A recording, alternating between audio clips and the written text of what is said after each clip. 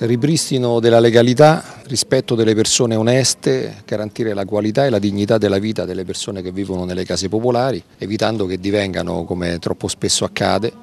il rifugio di bande di delinquenti e di criminali. Il Consiglio regionale d'Abruzzo nella seduta di ieri ha approvato il progetto di legge per l'assegnazione e la gestione delle case popolari. Il provvedimento, secondo la maggioranza di centrodestra, introduce maggiore equità e controlli più efficaci rispetto ai requisiti per essere assegnatari degli alloggi.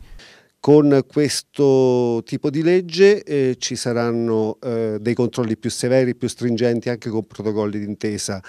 con forze dell'ordine, ci saranno sicuramente eh, delle, dei criteri con, eh, attraverso i quali noi avremo certezza che chi sta all'interno delle case popolari merita di stare all'interno delle case popolari, merita l'attenzione e il sostegno delle istituzioni e dello Stato italiano. Anche la leader di Fratelli d'Italia, Giorgia Meloni, plaude all'approvazione della legge, parlando di una vittoria della regione a guida Marsiglio e sottolineando lo stop alle discriminazioni verso gli italiani a vantaggio degli stranieri, oltre al giro di vite legalitario.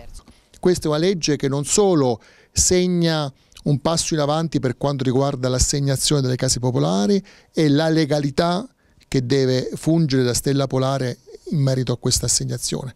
ma alziamo anche il livello di controllo, di salvaguardia dei diritti e di dare precedenza agli onesti e più deboli. Sulla stessa lunghezza d'onda gli alleati della Lega, secondo cui il lavoro di emendamento fatto dai consiglieri D'Incecco e Marco Vecchio sulla disciplina delle attestazioni di proprietà garantisce maggiori certezze nel controllo dei requisiti. Se la maggioranza esulta l'opposizione PD 5 Stelle è critica nei confronti di questa nuova legge sulle case popolari. Antonio Blasioli, Partito Democratico, attacca il centrodestra parlando di una legge propaganda. Una legge che va incontro al securitarismo ma che non garantisce alcuna sicurezza all'interno delle case popolari ed anzi creerà problemi alle famiglie con molte norme che riguardano l'accesso alla casa popolare e la decadenza di quell'articolo 34. Per esempio anche un familiare che dovesse commettere un reato come per esempio la vendita vendita di una bandiera, della bandiera italiana, addirittura tutta la famiglia perderebbe la casa. Da parte del Movimento 5 Stelle Domenico Pettinari sottolinea l'inefficacia e l'inapplicabilità